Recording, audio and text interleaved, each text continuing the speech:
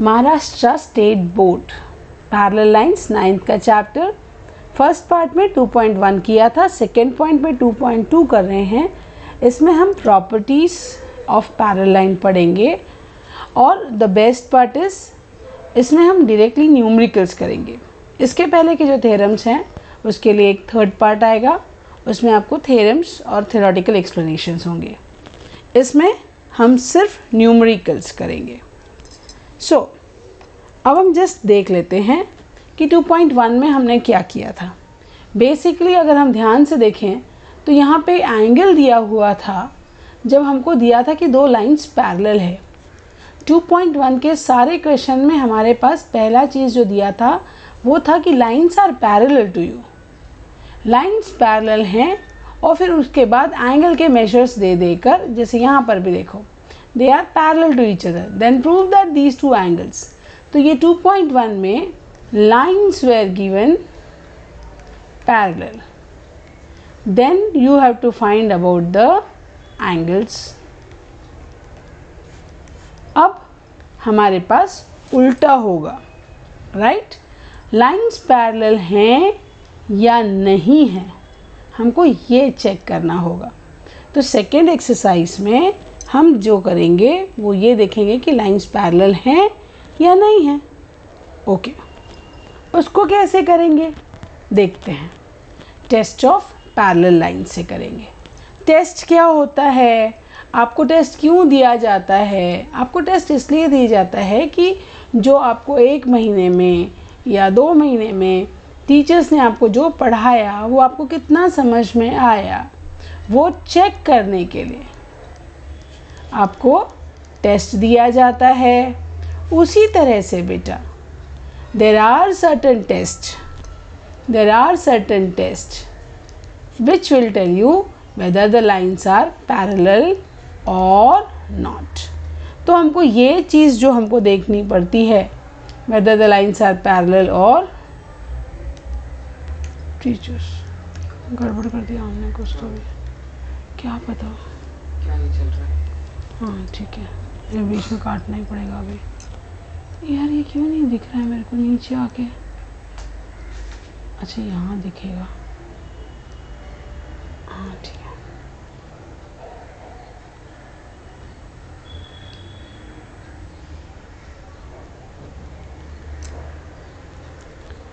तो हम test of parallel lines को देखते हैं। पहली चीज़ whether the two given lines are parallel or not can be decided by examining the angles formed by the transversal of the line. ठीक है? अब आपके पास क्या दिया हुआ है? अब आपके पास एक लाइन है, दो लाइन है और आपके पास एक ट्रांसवर्सल है। तो आपने पढ़ा था कि ये वाले ऐसे दो एंगल्स करस्पॉन्डिंग एंगल्स कहलाते हैं। ये दोनों भी करस्पॉन्डिंग एंगल्स कहलाते हैं। ये वाला और ये वाला करस्पॉन्डिंग है। उसी तरह से ये वाला और ये वाला।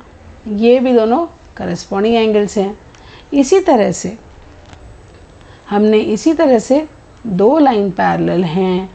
तो ये एंगल और ये एंगल आल्टरनेट इंटीरियर एंगल्स हैं, ऐसा पढ़ा था। फिर हमने और पढ़ा था। दो लाइंस पैरेलल हैं और ये एंगल और ये वाला एंगल राइट ये दो एंगल्स इन दोनों को ऐड करो. अगर ये ए है और ये बी है तो ए प्लस बी जो होता है, वो 180 डिग्री है. इसको बोलते हैं interior interior pair of angles and they are supplementary ये तो हम ऑलरेडी पढ़ चुके हैं राइट अब हम इसी को देखते हैं। पहला if interior angles on the same side of transversal are supplementary then the lines are parallel to each other माने क्या हुआ? आपके पास दो लाइन्स हैं और आपने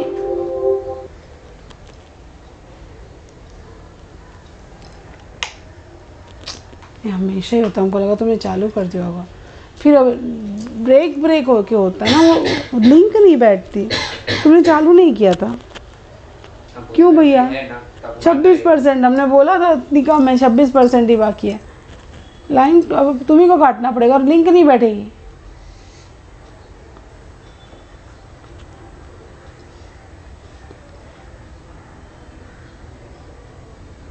अब उसको काटना शुरू से कहाँ से?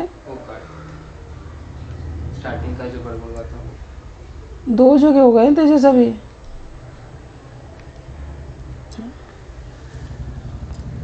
तब हम फ़र्स्ट तब हम फ़र्स्ट वाला देखते हैं। फ़र्स्ट कंडीशन क्या है? टेस्ट ऑफ़ पैरल लाइंस मतलब आपके पास दो लाइंस तो दी हुई है। आपके पास दो लाइंस तो दी हुई है राइट लाइंस हमेशा याद रखो एरो डालना, उनका नाम लिखना, और उनके पास एक ट्रांसवर्सल है, ये भी डालना राइट अब, ये दो लाइंस पैरेलल हैं या नहीं? माने एम और एन पैरेलल हैं या नहीं? ये आपका ट्रांसवर्सल एल जो है, वो जो एंगल्स बनाएगा, उस पर डिपेंड करेगा। तो पहला टेस्ट ऑफ़ पैरेलल लाइंस क्या है? If interior angle if interior angle interior angle on the same side of transversal, माने ये आपका ट्रांसवर्सल है और इस ट्रांसवर्सल के सेम साइड अगर आप देखें तो आपका हाथ का ये right hand left hand side है और ये आपका राइट हैंड साइड है। तो अगर ये ये एंगल इंटीरियर एंगल ये वाला एंगल और ये एंगल ये क्या रहेंगे? इंटीरियर एंगल क्या रहेंगे ये? इंटीरियर एंगल इंटीरियर एंगल्स कहाँ पे हैं? On the same side of a transversal if they are supplementary, if they are supplementary, then the lines are parallel. माने अगर आपका वैल्यू इसका ए है और इसका वैल्यू b है तो a plus B will be equal to 180 तो आप क्वेश्चन पूछ सकते हैं टीचर हमेशा सेम ही रहेगा क्या? नहीं बच्चे, अगर आपके पास ये एंगल C है और ये एंगल D है तो यहाँ पर भी C plus D one eighty अगर हो जाता है, चाहे तो आप इसको करो, चाहे तो आप इसको करो। दोनों में से किसी एक को कर लोगे तो भी आपका आंसर आ जाएगा। ठीक है? सो कहना क्या है? टेस्ट ऑफ़ पैरेलल लाइंस पहला वाला। अगर आपके पास दो पैरेलल लाइंस हैं और आपके पास एक ट्रांसवर्सल है और उस ट्रांसवर्सल की खासियत ये है कि उसके यहाँ के और यहाँ के ये एंगल ये एंगल इन दोनों को ऐड किया 180 डिग्री हो गया तो ये लाइंस पैरेलल होती हैं। कौन सी लाइंस आपकी लाइन पहली वाली, अगर आपने इसका नाम एम रखा, इसका नाम एन रखा और इसका नाम एल रखा तो M and N are parallel ठीक है?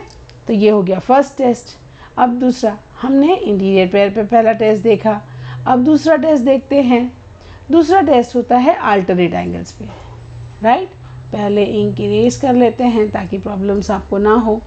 If one pair of alternate angles तो हमने पहले क्या देख लिया? हम एक बार और रिवाइज कर लेते हैं कि अगर ऐसा रहा, अगर ये ए है, ये बी है, और आपका A plus B is equal to one eighty degree हो गया तो ये लाइंस आपकी line M line N parallel होंगी। ये आपका फ़र्स्ट हुआ property second property if one of the pair of alternate angles तो आप क्या करेंगे? वापस से दो पैरल लाइन्स ड्रॉ करेंगे। दो पैरल लाइन्स ड्रॉ किया। ट्रांसवर्सल ड्रॉ किया। लाइंस हैं। विदाउट फेल आपको एरो डालना है। ये आपका लाइन एन है, ये आपका लाइन एम है, ये आपका लाइन एल है। देखो, नाम आप कुछ भी रख सकते हो बट ये ध्यान रखना कि अल्फ़ाबेट स्मॉल रहें। ठीक है? अल्टरनेट एंगल मतलब एंगल ये और ये, अगर आपका ए जो है वो बी के बराबर है राइट अगर ऐसा केस है तो लाइंस आपका N is parallel to M ये दो स्ट्रेट लाइंस पैरेलल लाइन का सिंबल होती हैं। So you can just write that N is parallel to M ठीक है? यहाँ पर भी एम और एन था तो आप लिख सकते थे m parallel to n. Next third वाला। अब हमने इंटीरियर पैर देखा अल्टरनेट देखा, अब हम करस्पॉन्डिंग पे देखेंगे। करस्पॉन्डिंग में वो क्या कहता है? करस्पॉन्डिंग में वो भी यही कहता है कि अगर आपके पास लाइन है लाइन एल राइट अरे, ये तो लाइन टेढ़ी बन गई। ठीक है लाइन एल और लाइन एम अब की बार हम एल और एम नहीं लिखते हैं। इनका नाम हम लिखते हैं line P line Q and line R R भाई आपका ट्रांसवर्सल है। If one pair of corresponding angles is congruent ये वाला एंगल इसके बराबर है। कोई भी वन पेयर अगर ये ए है और ये बी है और A is equal to B हो गया, तब ये दो लाइंस पैरेलल हैं। आप लिखेंगे P is parallel to Q ये यहाँ तक आपने बेसिक्स पढ़ लिया थ्योरम इसके प्रूफ के लिए हम एक और वीडियो बनाएँगे। आप उसमें प्रूफ देखिए। अभी न्यूमरिकल्स पे कंसंट्रेट करते हैं। ओके एक, दो करॉलरी भी इस पे आती है। और करॉलरी क्या बोलती है? If a line is perpendicular a line is perpendicular to two lines in the plane then the two lines are parallel माने क्या? अगर आपके पास एक लाइन है राइट? एक line perpendicular to two lines in a plane अब ये उसका परपेंडिकुलर लाइन है, ये भी उसका परपेंडिकुलर लाइन है। तो ये जो दोनों लाइंस हैं, ये भी आपकी लाइंस पैरेलल रहेंगी। क्यों? क्योंकि भाई 90 डिग्री 90 डिग्री हो जाएगा। और अगर दूसरा क्या बोलता है? If two line in a plane are parallel to the third line then those two lines are also parallel to each other यानी आपके पास एक लाइन है और ये लाइन अच्छा कलर चेंज करते हैं ताकि हमारी समझ में आए। ब्लैक लाइन जो है, वो रेड लाइन के पैरेलल है। रेड लाइन जो है, वो येलो लाइन को पैरेलल है। Right right? तो अब हम इनके नामकरण कर देते हैं। एज़ यूजल नामकरण कर दिया तो आपको चीज़ समझ में आएगी। ये लाइन आपका P है, ये Q है, ये R है। पहली चीज़, P is parallel to Q right और P is also parallel to R. P जो है ब्लैक लाइन रेड लाइन को पैरेलल है। और उसी तरह से P जो है, वो रेड लाइन R को येलो लाइन को पैरेलल है। इसका मतलब क्या हुआ? इसका मतलब हुआ कि Q is Q is parallel to R ठीक है भाई? अगर ये फ़र्स्ट लाइन है, ये सेकेंड लाइन है थर्ड लाइन है फ़र्स्ट आपकी लाइन पैरेलल है सेकेंड लाइन से। फ़र्स्ट लाइन पैरेलल है थर्ड लाइन से। इसका मतलब सेकेंड लाइन पैरेलल रहेगा थर्ड लाइन को। ठीक है? ये है करॉलरी। अब द क्वेश्चन इज़ फिगर में एंगल दिए हुए हैं। एक्स का वैल्यू उसने दिया है 71 डिग्रीज और y का वैल्यू दिया है 108 डिग्रीज अब टेस्ट ऑफ़ पैरेलल लाइंस पहला वाला हमने क्या देखा था? अगर हम इन दोनों को ऐड करें तो हम ऐड कर लेते हैं। 71 प्लस 108 टोटल हो गया 179 अब ये 179 is not equal to one eighty degree. इसका मतलब M is not parallel to N right so ये आपको समझ में आ गया। पर अब लिखना सिस्टमैटिक चाहिए। ज्योमेट्री में लिखना बहुत इंपॉर्टेंट है। सोल्यूशन हम हमेशा आपको बच्चों को बोलते हैं कि कोशिश कीजिए कि आप जो पढ़ते हैं, ये in the figure and justify ऐसा क्वेश्चन में नहीं लिखना बच्चे। यहाँ आप हमेशा गिवन डाल दीजिए और डायरेक्टली डालिए। y is equal to one zero eight X is equal to seventy one right to find line M is parallel to line n or not. To find. Now, solution. आप इसमें लिखेंगे solution. अब solution में क्या होगा? आप step by step लिखेंगे कि भाई क्या हुआ? आपको क्या दिया है? डिटेल में देखेंगे। पर ये गिवन टू फाइन लिखना ज़रूरी है। नेक्स्ट स्पेसिफाई कर दीजिए। एक्स ये है और वाई ये है और ये गिवन लिखा। भाई गिवन जो लिखा, उसको ऊपर लिख दो क्वेश्चन पढ़ते पढ़ते तो इजी हो जाता है समझना और चीज़ों को सॉल्व करना। उसके बाद x प्लस वाई दोनों को ऐड कर दो। जब आपने ऐड किया तो 179 आया। 179 जो है, वो 180 के बराबर नहीं है। तो आप स्पेसिफाई कर दीजिए। X plus Y is not equal to 180 the moment you got x plus Y is not equal to 180 the angles x and y are not supplementary देखो, ये स्पेसिफिकली लिखना ज़रूरी है। हम जनरली यहाँ लिखते हैं और उसके बाद में फिर आगे आंसर भगा देते हैं। नहीं वर्ड्स में डालना ज़रूरी है। They are not supplementary they do not satisfy the interior angle test of parallel lines हम जनरली ये पोर्शन को लिखते नहीं हैं और यहीं हमारे मार्क्स कट जाते हैं। And then your answer line L line M and N are not parallel आराम से करना, जल्दी नहीं है। चाहिए है तो हम एक बार और इसको देख सकते हैं। Let me erase the ink okay first step solution लिखा। Y की वैल्यू x की वैल्यू गिवन है, लिख दिया। अब दोनों को ऐड कीजिए। x plus Y is seventy one plus hundred and eight add करके आपको 179 मिला। पॉज लीजिए। अब लिखिए। x प्लस वाई जो है, वो 180 नहीं है। इसका मतलब क्या हुआ? x and y are not supplementary अगर वो सप्लीमेंट्री नहीं है तो क्या हुआ? सेटिस्फाई नहीं करता है कंडीशंस का। और जब वो कंडीशंस को सेटिस्फाई नहीं करेगा तो वो लाइंस पैरेलल नहीं रहेंगी। प्रैक्टिस सेट 2.2 का सेकेंड क्वेश्चन क्वेश्चन क्या दिया हुआ है? फिगर दिया हुआ है।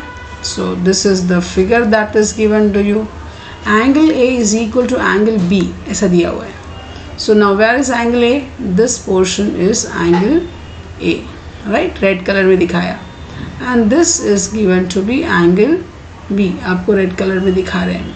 ठीक है? अब ये दो एंगल इक्वल दिए हैं. आपको प्रूव करना है line L which is this line and is parallel to line M which is this line so ये दोनों लाइन पैरल दिखाने हैं. पैरेलल दिखाने के लिए हमारे पास तीन चीज़ें होती हैं. पहले तो interior pair of angles supplementary है. राइट? सेकेंड या तो अल्टरनेट पेयर इक्वल हो जाए एंगल्स या फिर करस्पॉन्डिंग एंगल्स को इक्वल कर दो। ठीक है? ये तीन चीज़ें हैं। अब इन तीनों में से कौन सी सेट होती है यहाँ पे हमको देखना है। सो so, जब ऐसा दिख रहा है तो हम पहले तो लिख देते हैं कि हमेशा जो भी दिख रहा है सेम ऐसा कभी इन द गिवन फिगर ऐसा कभी लिखना नहीं। क्वेश्चन नहीं लिखना। ऐसा सीधा दे गिवन गिवन लिखने के बाद में angle A is equal to angle B लिखना पड़ता है और फिर to prove to prove, what is to be proved? Line L parallel to line M ऐसा प्रूव करना है। उसके बाद प्रूफ स्टार्ट करोगे। ठीक है? ये बेसिक हो गया। अब ये समझ लेते हैं हम, और उसके बाद फिर हम सीखेंगे कि लिखना कैसे चाहिए। अब यहाँ पे आ जाते हैं। हम इस एंगल को सी ले लेते हैं। किसको? ये एंगल हम इमेजिन कर लेते हैं या डिनोट कर देते हैं कि भाई ये एंगल हमारा सी है। बी जो है वो सी के बराबर रहेगा क्योंकि वर्टिकली अपोजिट एंगल्स होते हैं। ना आपको मालूम है ए जो है वो बी के बराबर है। और आपका बी जो है, वो सी के बराबर है, क्योंकि वो वर्टिकली अपोज एंगल्स हैं राइट दैट मीन्स ए जो है, आपका सी के बराबर रहेगा, क्योंकि ए बी के बराबर है। बी जो है, वो सी के बराबर है तो ए सी के बराबर रहेगा। कई बार बच्चों को ये भी समझ में नहीं आता तो ऐसा समझ लो। बी अगर सेवेंटी होता तो इसका वर्टिकली अपोजिट एंगल भी सेवेंटी होता राइट right? अच्छा ए और बी सेवेंटी है, पहले ही दिखा दिया है उसने यहाँ पे। तो भाई ये सेवेंटी है तो ये भी सेवेंटी है। अब आपको ये भी सेवेंटी मिला, ये भी सेवेंटी मिला मतलब करस्पॉन्डिंग एंगल इक्वल मिल गया आपको। इसका मतलब लाइन पैरेलल होंगी। ये हमारा बेसिक समझ लेना चाहिए और उसके बाद हम देखते हैं कि इसको लिखना कैसे चाहिए। चलो, फिर द फ़र्स्ट स्टेप क्या करेंगे? गिवन लिखेंगे। Angle A is congruent to angle B फिर एंगल बी ये वाला एंगल है और एंगल ए ये वाला एंगल है। ये दोनों इक्वल दिखाए हुए हैं, ठीक है? हमको प्रूव करना है line L is parallel to line M ठीक है? उसके बाद में हम आगे जाएँगे प्रूफ प्रूफ में क्या बोलते हैं? Consider C as shown in the figure हमने जो बोला वही लिखा। उसके बाद नेक्स्ट नेक्स्ट आप बोलेंगे angle B is equal to angle C vertically opposite angles ये दिख रहा है यहाँ पे लिखा हमने angle B is congruent to angle C vertically opposite angles भाई, इसको अब ध्यान से तुम ज़रा देख लो, ये दोनों एंगल्स हैं और ये दोनों वर्टिकली अपोजिट एंगल्स हैं। ठीक, अब उसके बाद नेक्स्ट बट हमको क्या दिया है? ए और बी इक्वल है मतलब हमें दिया है कि ए और ये जो बी है राइट कौन सा एंगल आपका ब्लैक वाला जो एंगल है, ये वाला ए और ये बी इक्वल दिया है। ए बी के बराबर है ए सी के बराबर है राइट सो अल्टीमेटली आपको ए और सी इक्वल मिल जाते हैं। और जब ऐसा होता है, हम बोलेंगे वन और टू से इक्वल हो गया। So corresponding angles on the line L and M are equal ठीक है? ऐसा होता है तो हमें लास्ट लाइन लिखना पड़ेगा। Line L is parallel to line M by corresponding angle test generally आप ये वाला सेंटेंस लिखना भूल जाते हैं। तो ऐसा मत कीजिए प्रॉपरली लिखिए और अच्छे से समझ के लीजिए। नेक्स्ट क्वेश्चन नंबर थ्री काफ़ी बड़ा सा लगता है देख के, ऐसा लगता है कि कुछ बहुत भारी, भक्कम चीज़ें हो रही हैं।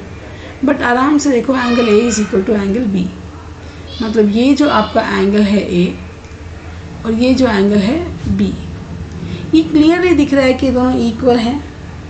इसका मतलब ये हो गया कि लाइन जो एल है, वो पैरेलल है एम के because of the corresponding angles उसी तरह से हम थोड़ा सा कलर चेंज कर लेते हैं ताकि थोड़ा सा स्पेसिफिकली दिखा पाएँ।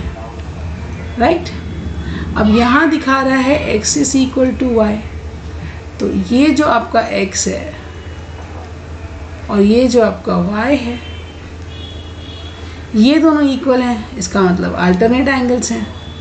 तो आपका एम जो है, वो पैरेलल हो जाएगा एन के। एल पैरेलल है एम के और एम पैरेलल है एन के, इसका मतलब एल जो है, वो पैरेलल हो जाएगा एन के। इतनी सिंपल सी बात है। अगर आप चाहें तो वापस से एक बार देख लीजिए और समझ लीजिए। पहले क्वेश्चन को समझ के लीजिए और उसके बाद उसको सॉल्व करना चाहिए क्या बोला है? Angle A is equal to angle B इसका मतलब एंगल बी और एंगल ए इक्वल है। इसका मतलब ये जो लाइन है आपकी और ये जो लाइन है, ये दोनों लाइंस आपकी पैरेलल हैं। ठीक है? अब उसके बाद क्या बोला? नेक्स्ट बोला एक्स और वाई के बारे में। आपका जो एक्स है और जो वाई है, ये दोनों भी इक्वल है बिकॉज़ ये अल्टरनेट एंगल्स हैं। इसका मतलब ये जो लाइन आपकी यहाँ पे बन रही है, ठीक है? वो इसके पैरेलल है। ठीक है? ये दोनों पैरेलल है। तो भाई ये जो लाइन है, वो इसके भी पैरेलल है और इसके भी पैरेलल तो ऑटोमेटिकली ये दोनों एक दूसरे के पैरेलल हो जाएँगे।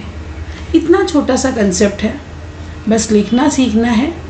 बिकॉज़ ज्योमेट्री में सबसे ज़्यादा मार्क्स लिखने पे कटते हैं। गिवन आपको जो दिया है, आप लिख दीजिए।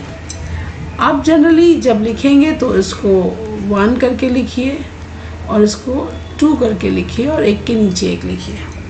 ताकि ये जो हिस्सा है, आपका ये हिस्सा, ये हिस्से में आपका गिवन और टू प्रूव आ जाए तो उसके यहाँ पर डायग्राम आ जाए। अब मुझे सिंगल पेज पे काम करना होता है तो मैं जनरली उसमें थोड़ा सा एडजस्टमेंट कर लेती हूँ। प्रूव करना है लाइन एल और एन पैरेलल है और सॉल्यूशन लिखना है। आप ठंडे दिमाग से इस चीज़ को देख लीजिए।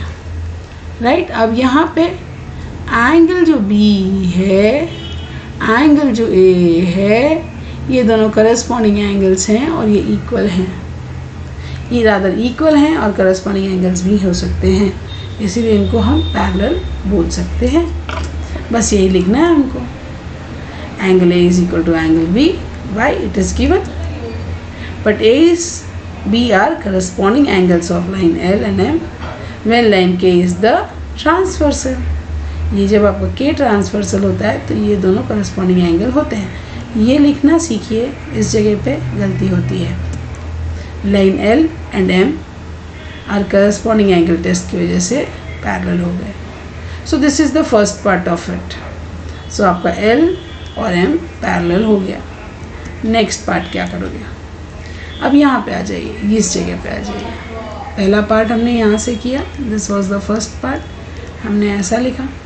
सेकेंड पार्ट में, अब इसको भूल जाइए। ये ये लाइन है, ऐसा भूल ही जाइए कि ये लाइन ही नहीं है आपकी। आपका डायग्राम बस इतना है, ठीक है? तो बस ये डायग्राम आपका इतना है, ठीक है? अब इसके बाद देख लीजिए। क्या बोला?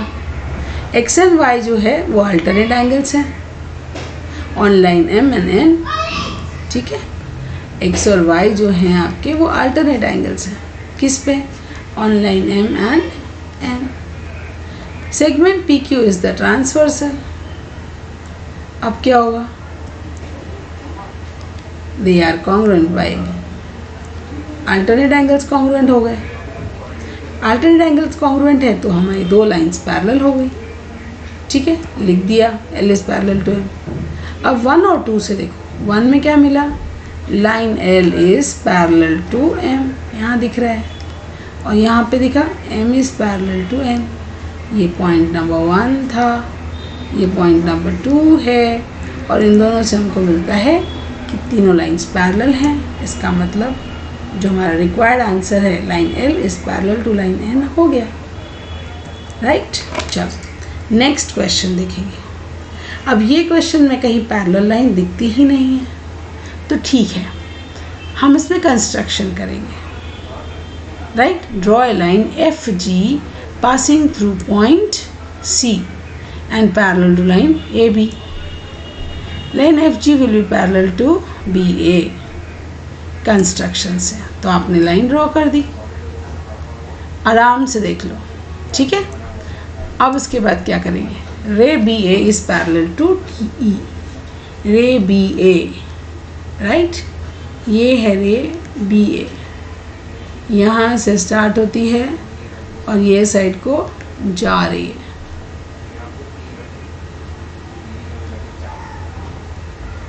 ठीक है?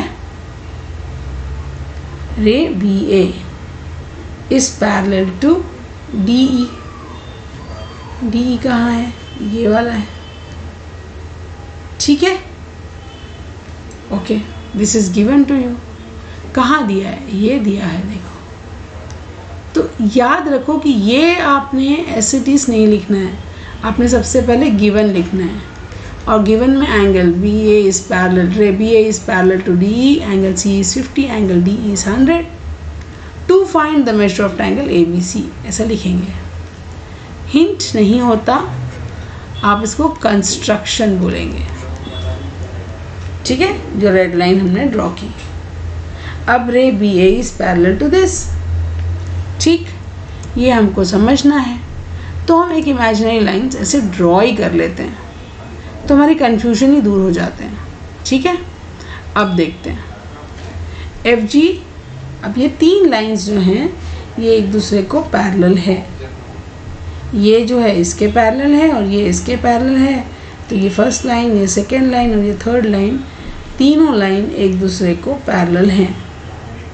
Line F ji ray B A ray D E from three and one तीनों लाइन पैरेलल है। ठीक है? अब ये जब हो गया, इसके बाद क्या करेंगे? हमको पता क्या करना है? एंगल ए बी सी का वैल्यू निकालना है। तो अच्छे से समझने की कोशिश करते हैं, एक अलग कलर से। Angle A B C A B C यहाँ देखो ए बी सी सो वहाँ पहुँच जाओ ए पे। देखो येलो कलर से दिखाने की कोशिश की जा रही है। ए बी सी मतलब ये वाला एंगल है बेटा। ये वाला एंगल आपको इक्वल दिखाना है। ये इसका मेजर निकालना है। राइट अच्छी बात है। तो अब इतना जो लिखा है, इसको इरेज कर देते हैं इनको ताकि हमको समझ में आए कि हमको करना क्या है। तो हम बोलते हैं कि ये वाला जो एंगल है, ये हंड्रेड दिया है। तो ये टोटल जो रहेगा, ये भी हमारा हंड्रेड ही रहेगा। क्यों? बिकॉज़ ये हमारी ट्रांसवर्सल है। ठीक है? ये हमारी ट्रांसवर्सल है और ये अल्टरनेट एंगल है। सो so, कुल मिलाकर ये एंगल हंड्रेड हो गया। ठीक? अगर ये एंगल हंड्रेड हो गया तो यहाँ सपोज़ ये एंगल एक्स है। तो आपको मिलेगा x plus fifty is equal to hundred correct so x will be equal to hundred minus fifty that is equal to fifty so ये एंगल आपका फिफ्टी हो गया. ठीक? ये एंगल 50 हो गया. वापस से देखते हैं. अगर आपको डाउट आ रहा है तो हम उसको वापस से देखते हैं. एक बार आराम से समझते हैं. ठीक है? देखो. ये लाइन ये लाइन और ये लाइन। फ़र्स्ट सेकेंड और थर्ड ये तीनों पैरेलल हैं। हमको ये फ़र्स्ट लाइन और ये लास्ट लाइन लेनी है, जहाँ पर हम इसको ट्रांसवर्सल बोलेंगे। ये एंगल आपको 100 डिग्री दिया हुआ है। तो ऑटोमेटिकली ये एंगल भी आपका 100 ही होगा। आउट ऑफ़ दिस 100 ये एंगल आपका 50 है।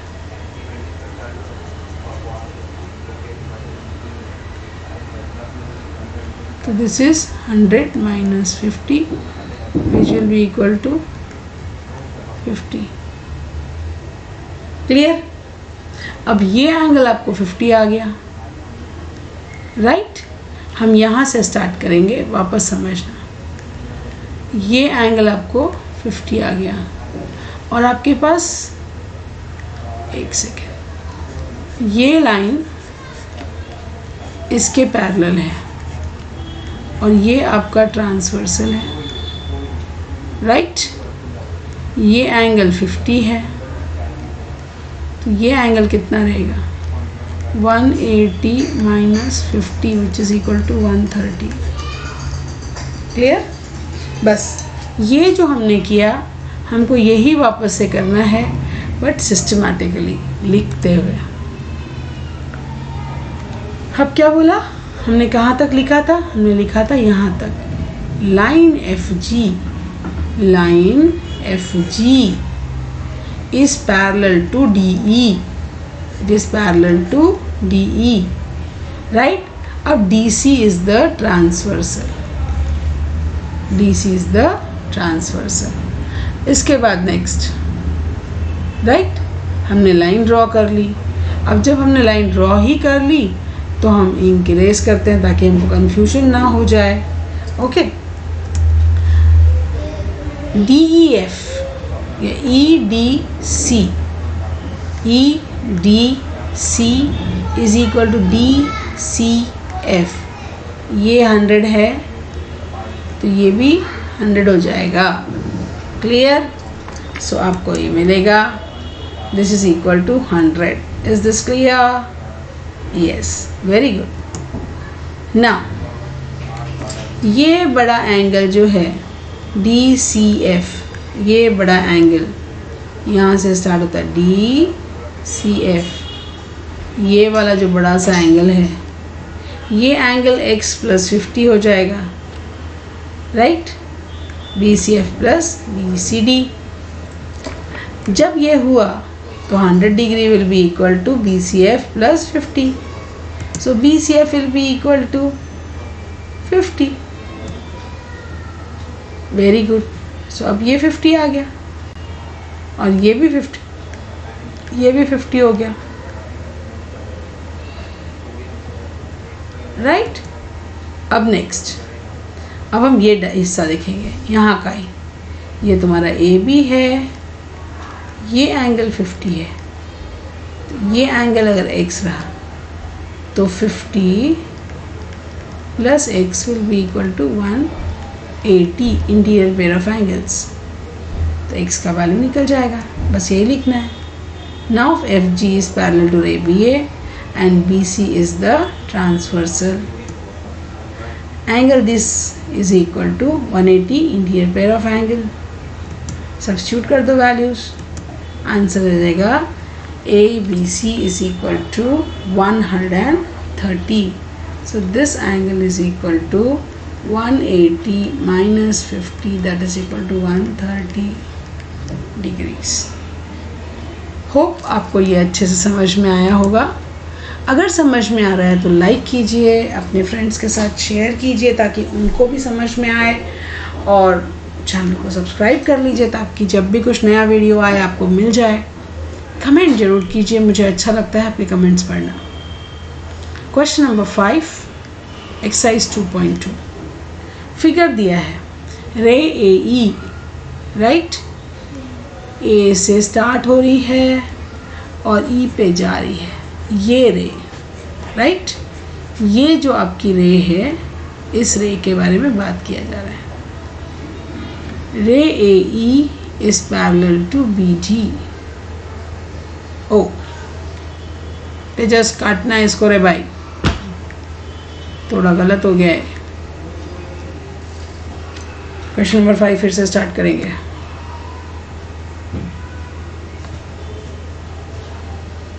गलत हुआ तो बोल दिया क्वेश्चन नंबर फाइव फिर से काटना, फिर से स्टार्ट करेंगे। Question number five practice set two point two काफ़ी लेंदी सा है बट अच्छा है। न्यूमेरिकल अच्छा है, अगर समझ में आ जाए तो। क्या दिया है रे ए ई?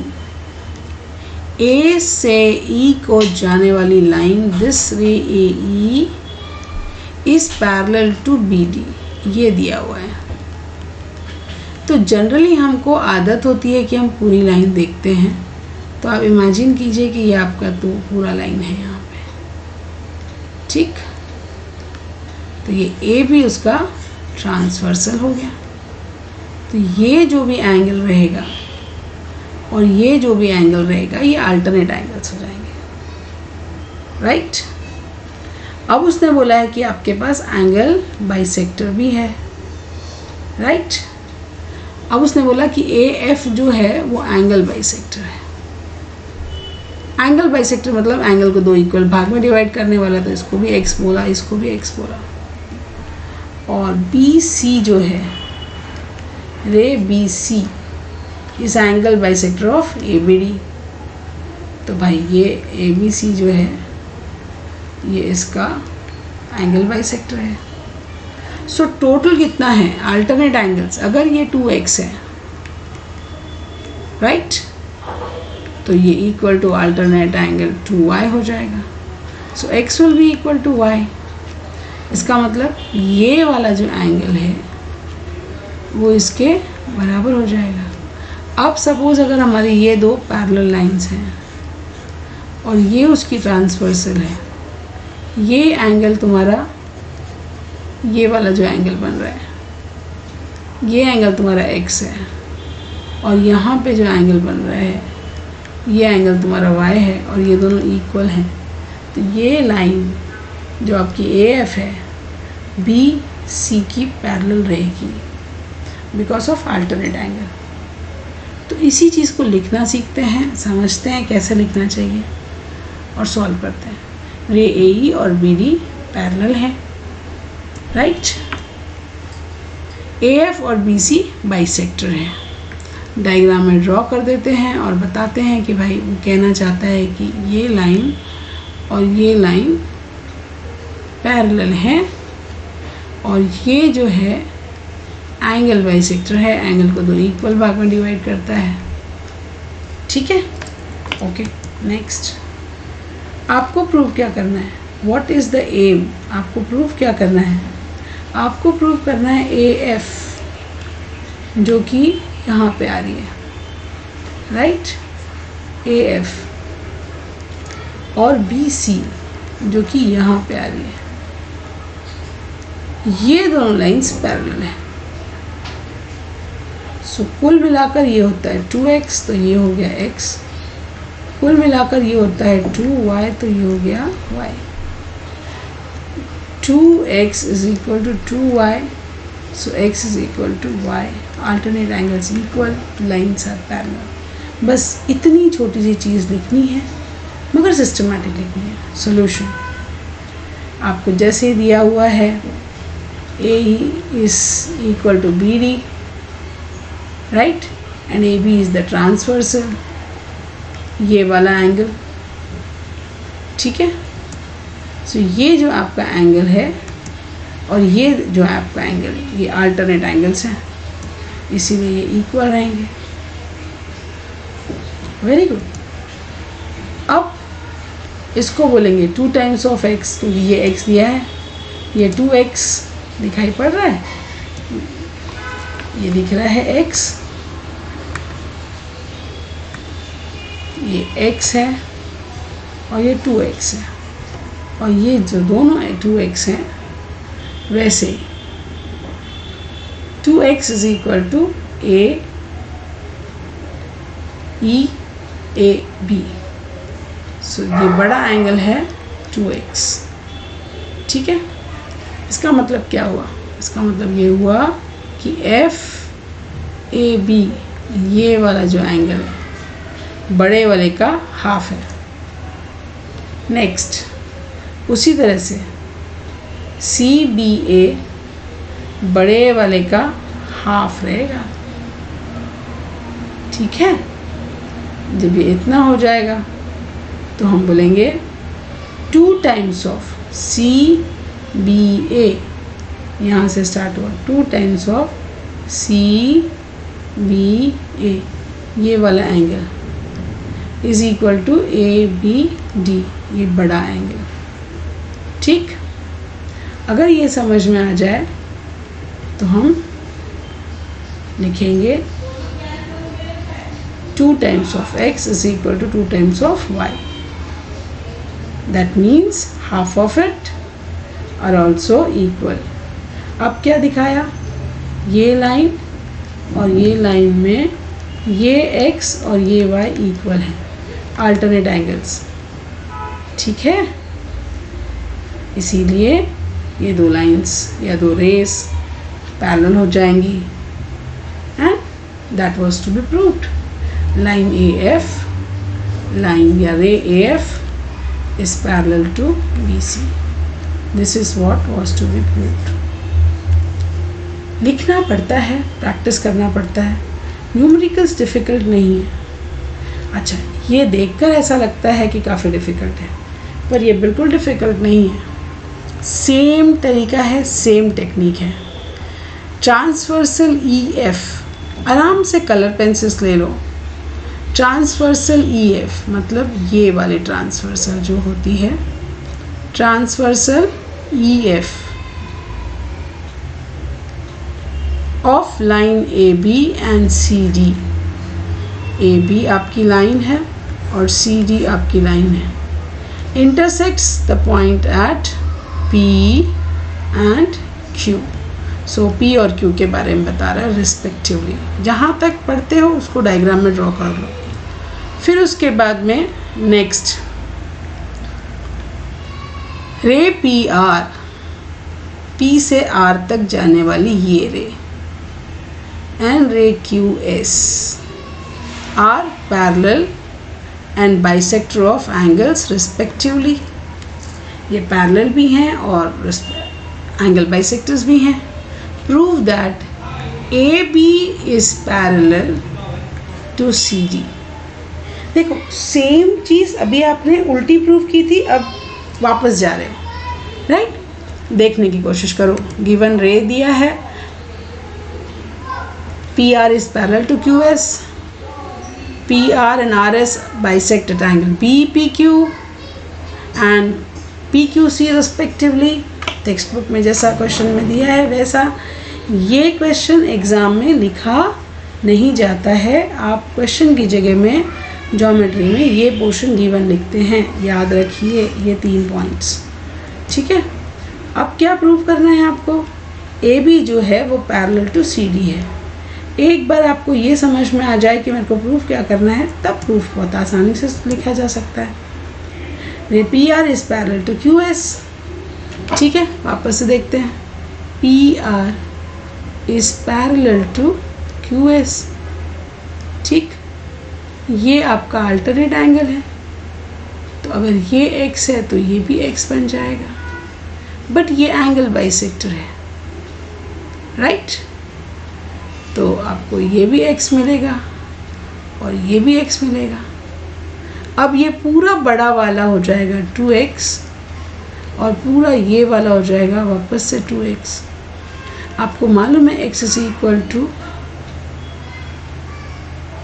Y ठीक है। एक बार ऐसा समझ के देखो, ये एक्स एक्स है, ये टू एक्स है, ये टू वाई है तो ऑटोमेटिकली अल्टरनेट एंगल इक्वल हो गए। अच्छा हमने अभी तक जितना भी पढ़ा है, वो एक्स और वाई में पढ़ा है। तो ठीक है। You call it as X you call it as Y अब आपको मालूम है X is equal to Y because angle by parallel lines हैं। टू टाइम्स मल्टीप्लाई कर दो two X is equal to two Y so, this is y and this is x so, ultimately, this full angle is equal to this full angle ठीक है? Alternate angles equal हो गए। इसका मतलब A B और C D lines parallel हो गई अभी हमने सीखा डायग्राम में। पहले न्यूमेरिकल को समझो और फिर लिखना स्टार्ट करो। ठीक है?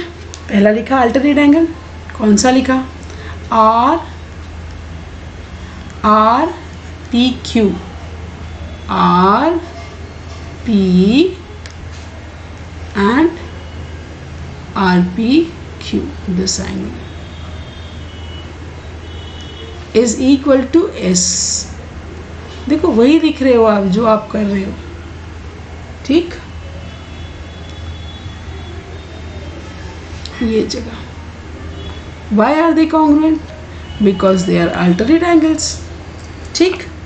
Next half of this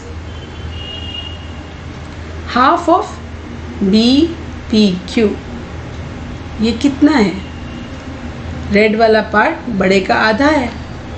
R P Q is half of B Q B P Q उसी तरह से S Q P is half of P Q C अगर मैंने इसको x बोला, इसको y बोला तो ये हो जाएगा 2x और ये हो जाएगा 2y 2x 2y ना लिखते हुए उसने हाफ़ हाफ़ करके लिखा हुआ है। ठीक है? One and the same thing but ये दोनों अल्टरनेट एंगल्स हैं, बड़े वाले बी देखो लाइंस को इसको इरेज कर देते हैं, फिर से देख लेते हैं। B P Q B P Q ये बड़ा एंगल पी क्यू सी ये बड़ा एंगल ये दोनों एंगल्स अल्टरनेट एंगल्स हैं। इसका मतलब alternate for the lines A B and C D CD parallel when E F is the transversal by alternate angle test इतना सिंपल है आई थिंक एक्सरसाइज आपको समझ में आएगा आप इन्जॉय करेंगे अच्छे से खुशी से पढ़ो happy learning geometry is beautiful do like share and comment we will meet in the third part of this theorem where we will deal with the proofs of the theorems. Thank you